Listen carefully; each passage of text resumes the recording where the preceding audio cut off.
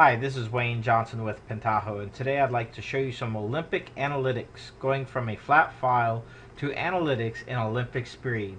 A Pentaho Espresso Shot, part of the Pentaho Espresso Shot series. Today I'm going to show you how I was tracking the Olympics using a simple CSV file to tally the total by all medals, gold, silver, and bronze for each of the countries. Feed that CSV file directly into Pentaho and then build some analytics, some Olympic analytics. Let's go ahead and take a look at what that looks like. So here you'll see I just kept a simple tally of all the countries and as they won medals I would add to their tally. And then what I did was I went ahead and pumped that directly into Pentaho. Let's take a look at how we did that. I just simply select create new data source and here we're going to call it um, Olympics. And then here we'll select it as a CSV file and we'll browse to our CSV file. And here I have that CSV file as 2012 Olympics. Click open import. And you'll notice it imports my CSV file. I have some options here to specify the format of my CSV file but it automatically detects detects it for me. So I can click next and here I see the different fields and columns and select finish and it automatically builds the metadata layer for me in order to do my analytics. Now I went ahead and built it already so let's take a look at what that looks like. When I click on new analysis I see here I have the 2012 Olympics that we just built. I'm going to go ahead and click OK and so here I have country and then here I can look at total medals and then I, if I wanted to see this in a geo map, I simply select geo map. And I can see the medals across the different countries. Um, I prefer to see this in a Google Street, so I could switch the base layer on demand.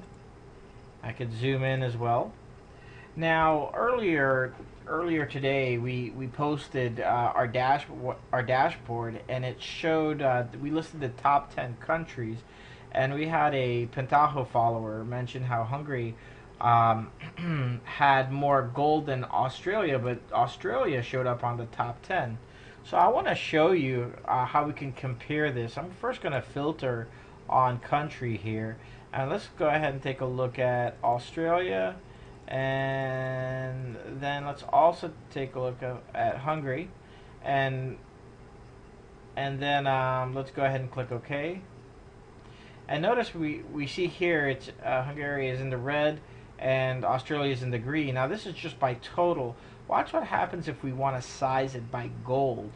Right away we see that Hungary has a, a whole lot more gold medals than Australia by the which is being represented by the size of the the bubble.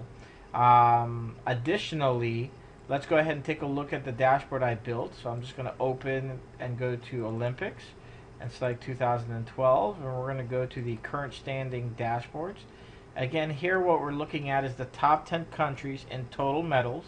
Again all this is being built directly off the CSV file. I can zoom into it by double clicking on my on this area and maybe I want to select a particular country. So let's say United States and we want to select China and we may want to select the United States or we can highlight particular countries as well and and only look at those countries if we'd like. So for example we want to keep only the selected items. Or we could go back to our dashboard by simply double clicking on the total there. Here we notice that if I if I highlight here Japan while Japan has earned 38 medals we we can hover over this dot here in Korea even though they've earned less medals total, they've earned more gold medals. And then to the right here, we see the geo mapping as well. This has been a quick example of, of following something I, I really enjoyed to watch, the Olympics, and being able to take that data and put it directly into Pentaho off a simple CSV file to do some Olympic size analytics.